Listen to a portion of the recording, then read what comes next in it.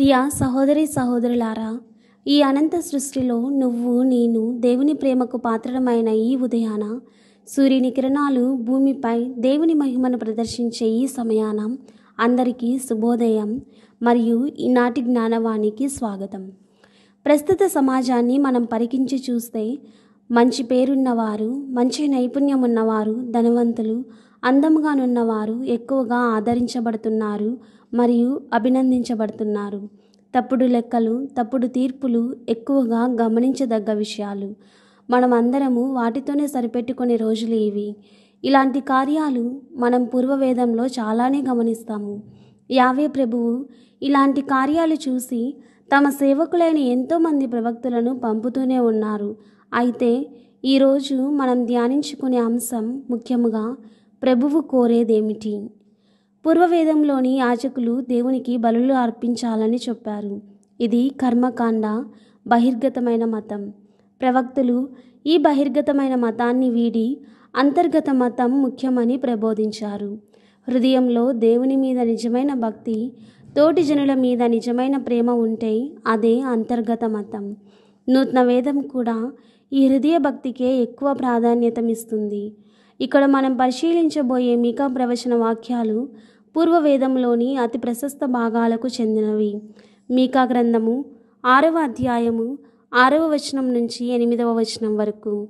మహోన్నతుడైన దేవుని పూజించుటకు వచ్చినప్పుడు నేనేమి తీసుకొని రావలేను? ఏడాది దూడులను దహన బలిగా కొనరావలేనా? వేల కొలది పొట్టేళ్ళను పదివేలి నదుల ఒలీవు తైల్యమును కొనివచ్చిన అతడు సంతృష్టి చెందునా? లేక నేను చేసిన పాపములకు ప్రాయశ్చిత్తముగా నా జ్యేష్ఠ కుమారుని బరిగా అర్పింపవలేనా?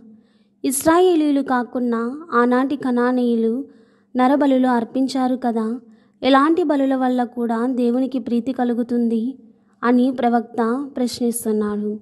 మరి అతన్ని కొలిచే మార్గం ఏమిటి మీకా గ్రంథము ఆరవ అధ్యాయము ఎనిమిదవ వచనములను చూచినట్లయితే ప్రభువును మెప్పించాలంటే మూడు కార్యాలు ముఖ్యము. మొదటిది తోటి జనుల పట్ల న్యాయాన్ని పాటించాలి. రెండవది వారి ఎడల ప్రేమను చూపాలి. మూడవది దేవుని పట్ల వినయాన్ని ప్రదర్శించాలి. ఈ మూడింటిలో తొలి రెండు తోటి జనులకు సంబంధించినవి. మూడవది దేవునికి సంబంధించినది. మొదటిది తోటి జనుల పట్ల న్యాయాన్ని పాటించాలి. తోటి వారికి అన్యాయం చేయకూడదు న్యాయమే చేయాలి. ఇది ఎంతోమంది ప్రవక్తలు ప్రబోధించిన బోధ. ప్రస్తుత కాలంలో న్యాయం అంటే కోర్టు తీర్పులు విధించే వారికి మాత్రమే పరిమితమైంది. అక్కడికి వెళ్ళిన న్యాయం దొరుకుతుందన్న ఆశ చాలా వరకు చాలామందిలో చచ్చిపోయింది.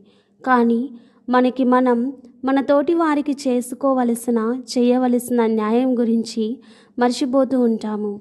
మన ప్రభువు న్యాయాధిపతి ఎల్లప్పుడూ న్యాయాన్ని మాత్రమే కోరుకుంటాడు. దేవుని బిడ్డలమైన మనం న్యాయం వైపు నిలిచే అవకాశం వచ్చినప్పుడు ధైర్యంగా న్యాయం కోసం పోరాడి న్యాయం వైపు నిలుద్దాం. రెండవది తోటి వారి ఎడల ప్రేమను చూపాలి. యేసుప్రభు బోధనలలో మొదటిది మరియు ముఖ్య సూత్రం ప్రేమ. దేవునిపై ప్రేమ తోటి నరులపై ప్రేమ. కానీ ఈ కాలంలో ప్రేమ కరువైంది. తోటి వారిపై ప్రేమ కోసం చచ్చేవారి కంటే చంపేవారు ఎక్కువగా ఉన్నారు.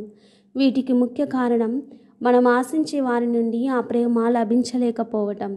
కానీ మనకై మన కోసం మరణించిన ఆ కల్వరినాథుడైన ప్రభువు తనకు వీలైనంతగా తన చేతులు చాచి చీలలు వేయించుకొని బిడ్డ నేను నిన్ను ఇంతగా ప్రేమిస్తున్నాను అని ప్రతిరోజు వేచి ఉన్న ప్రభువుని మాత్రం మర్చిపోతున్నాము. మనం మన తోటి వారిపై స్వచ్ఛమైన ప్రేమను చూపించాలంటే ముఖ్యంగా మనం అందరము మన ప్రభువుని ప్రేమించాలి మరియు ప్రేమ అనే సుగుణం కొరకు ప్రార్థించాలి. అప్పుడే మనం ఇతరులపై ఆ ప్రేమను చూపగలుగుతాము. మూడవది దేవుని పట్ల వినయాన్ని ప్రదర్శించాలి. అనగా దేవుని మీద ఆధారపడి జీవించాలి. గర్వాత్ముడు నాకు నేను చాలదును అనుకుంటాడు. స్వీయ బలం మీదనే ఆధారపడతాడు. కానీ వినయాత్ముడు నాకు నేను చాలను దైవబలం ఎంతో అవసరం అనుకుంటారు. చిన్న బిడ్డ తన తల్లిదండ్రుల మీద ఆధారపడినట్లే వినయాత్ముడు దేవుని మీద ఆధారపడతాడు. వినయం గొప్ప సుగణం. బలి సమర్పించడం కంటే విధేయత మెరుగు. ఎందుకంటే బలిలో జంతువులను అర్పిస్తాము కానీ విధేయతతో మన హృదయాన్ని అర్పిస్తాము. ఎంతోమంది ఈ వినయం అనే సుగుణం ద్వారానే దేవుని హృదయానికి దగ్గర కాగలిగారు. మన తల్లి మరియమాత మన అందరికీ సుపరిచితమే. తల్లి మరియమాత ఈ వినయం ద్వారానే లోకరక్షక మాతగా లేవనెత్తబడింది. చివరిగా దేవుడు మనకంటే గొప్పవాడు దోషాలు లేనివాడు సర్వసంపూర్ణుడు. కనుక అతన్ని పూజించడం ప్రేమించడం సులువు. తోటి నరులు మనలాంటి వాళ్ళు కనుక వాళ్ళను ప్రేమించడం కష్టం. అయినా తోటి జనాన్ని అంగీకరిస్తే ప్రేమిస్తే గాని దేవుణ్ణి మెప్పించలేం. నేడు అతడు మనకు నేరుగా దర్శనమియ్యడు తోటి నరుల్లోనే దర్శనమిస్తాడు. కనుక తోటి జనులను ప్రేమిస్తే అతన్ని ప్రేమించినట్లే. ఇదే ఈనాడు ప్రభువు మన అందరి నుండి కోరుకునేది. కావున ఈ ప్రత్యేక వరం కోసం మనం ప్రత్యేకంగా ప్రార్థించుకుందాం. ఈ వరం కోసం ప్రయత్నించుకుందాం.